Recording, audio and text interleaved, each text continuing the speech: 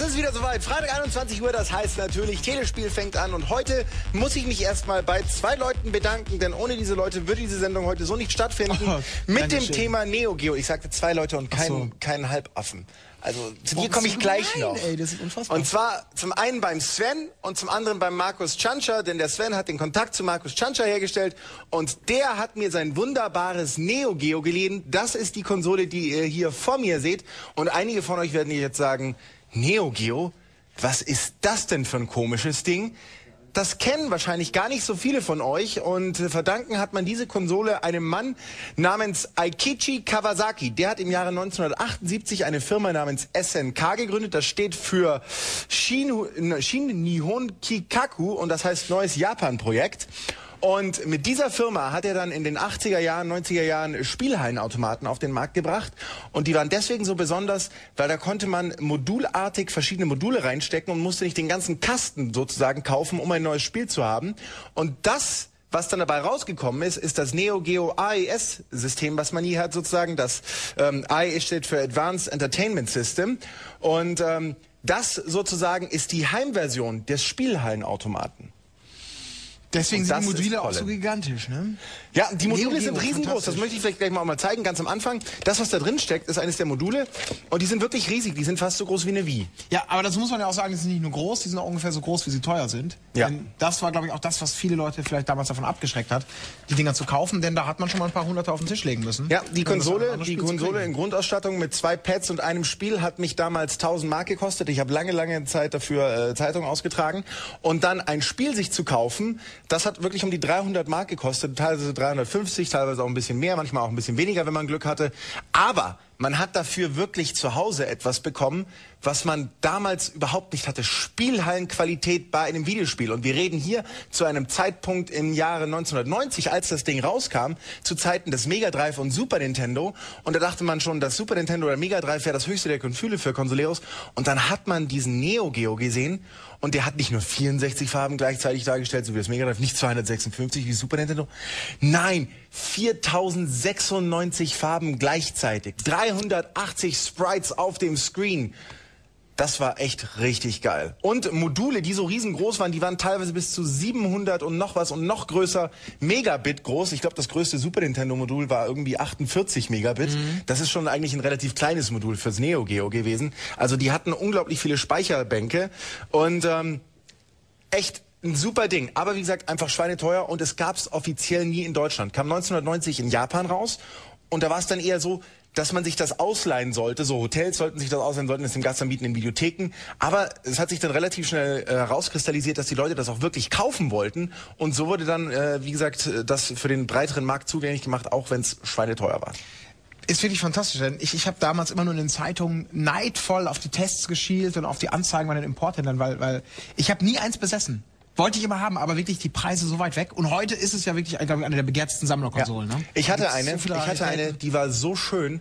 Und ich komme eines Tages nach Hause, besuche meine Mutter und äh, quetscht dann aus ihr raus, dass sie die weggeworfen hatte. Mein Neo Geo mit zwei Spielen, zwei wunderbaren Joypads, denn das sind die großen Joypads, die mit dem Ding kamen. Nicht mal So verkauft. richtig Arcade-Style, nicht verkauft. Ver- sie hat einfach weggeschmissen. Mein Neo Geo.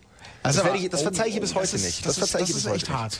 So, ich würde sagen, wir fangen gleich mal an zu zocken. Und zwar haben wir uns ein Spiel ausgesucht, das heißt Last Resort. Kam natürlich auch in der Spielhalle, denn man muss sagen, die ganzen Spiele, die es auf dem Neo Geo gab, gab es natürlich auch in der Spielhalle. Wirklich eine coole Sache. Wir fangen einfach mal an und das Ganze ist ein Side-Scrolling Shoot'em Up Oh ja, eins meiner Lieblingsgenres. und orientiert sich so ein bisschen an R-Type. Man hat so einen kleinen Kometen, der einen sozusagen verfolgt, beziehungsweise der einem unterstützt im Kampf gegen das Böse. Du drückst einfach Start, dann geht's los.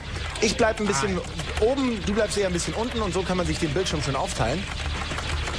Muss man einfach mal sagen, durch diese gigantischen Abmessungen schon von diesem Joypad, äh, Joyboard muss man ja sagen, Ja. äh, hat das auch schon so Arcade-Feeling, weil man die, die Hände einfach so Absolut. drauf ruhen lässt und klackert auch nicht mit. So, jetzt haben wir gerade Specials eingesammelt. Jetzt seht ihr, hat jeder von uns so einen kleinen Knubbel um sich rumfliegen. Es kommt darauf an, welche Farbe das Special hat, wenn man den einsammelt, äh, wie sich dieser Knubbel verhält. Denn man kann den Knubbel nämlich auch...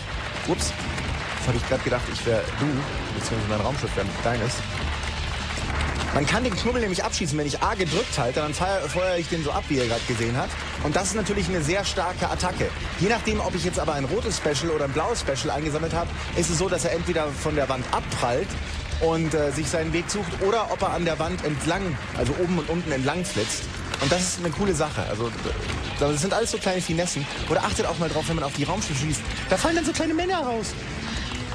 Das ist total cool. Stimmt, Ja. das sind so kleine Figuren. Was man vielleicht noch sagen sollte, die Schussrichtung des Satelliten, die ist quasi immer entgegengesetzt in die Richtung, in die ich man gerade drückt.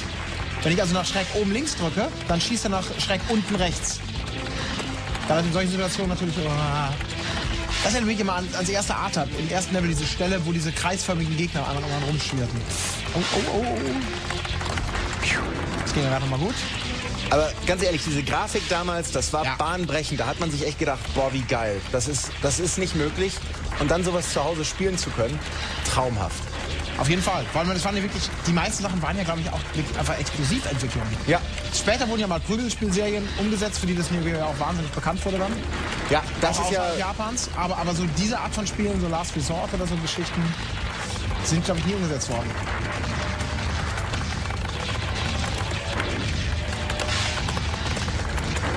Boah, Nein, was war das denn? Wo kam der denn her? keine Ahnung, ich aber nicht gesehen Junge. Fall. Oh, jetzt habe ich mir den Laser ausgewählt. Und ich bin nackig sozusagen. Gleich kommt auch Endboss-Zeit. Oh. Den müssen wir uns auf jeden Fall noch anschauen. Ja, definitiv. Ich mag auch die Geräusche so gerne. Der Soundtrack ist auch geil von Super. Richtig wumselig. Ist das der Oberboss? Nee, das noch nicht. So einen hatten wir ja vorhin schon. Ach stimmt, seinen, seinen kleinen Bruder, ne? Ja. zerlegt.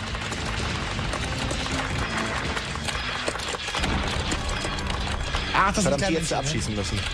So, jetzt kommt hier Bosszeit. Haben wir nicht getraut.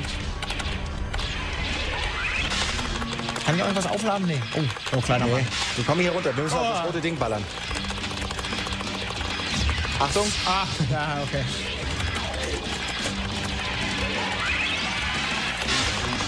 Ich hab Angst. Hier den roten, auf den roten, auf den roten, auf den roten. Wo bin ich denn? Ah, der Ach, ist schon kaputt. Er ist kaputt Okay. gegangen. Yay! Das war das erste Level und das ist Last Resort. Ein sehr, sehr geiles Spiel, das für das Neo Geo rauskam.